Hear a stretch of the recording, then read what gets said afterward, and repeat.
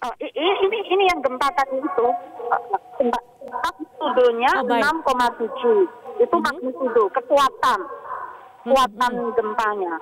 Nah okay. dampak guncangannya guncangannya ini yang terdampak uh, tertinggi itu dengan intensitas guncangan 6 itu di wilayah di sekitar ujung kulon. Nah, Baik. ini kalau untuk rumah-rumah yang uh, tidak mengikuti standar bangunan tahan gempa ini rusak bisa rusak. Oke, artinya Itu. efek gempa di wilayah sekitar pusat gempa ini uh, dikhawatirkan bisa merusak atau membuat bangunan terutama yang rangka ataupun ya, konstruksinya ya, tidak kokoh. Ini menimbulkan ya. kerusakan ya. yang cukup berat begitu ya Ibu Rita. Oke, dan ini belum ada ya. informasi ya Bu ya uh, dari sana bagaimana dampak gempa di wilayah sekitar pusat gempa yang terjadi. Uh, kami sedang mencari informasi itu. Kami sedang mengumpulkan informasi itu. Baik. Dan Baik.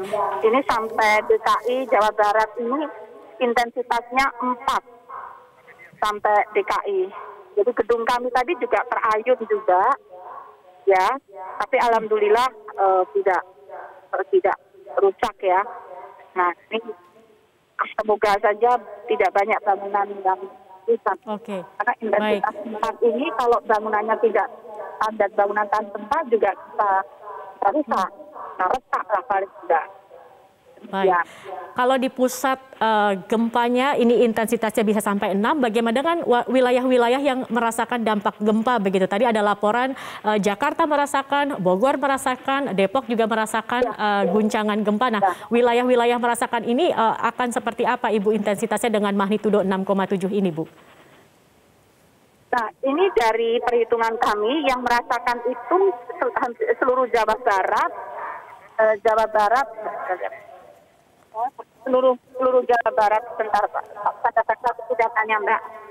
Baik. Dari petani ternyata seluruh Jawa Barat dan uh, Lampung ini merasakan dengan intensitas 4 ya. Uh, ini misalnya ini saya bacakan dulu ya.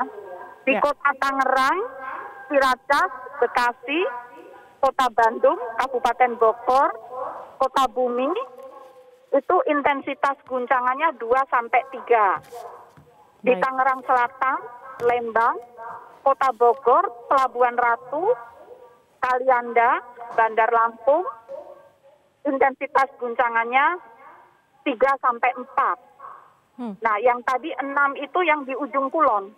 Baik. Cikusik ujung kulon. Itu yang paling dekat dengan epicenter.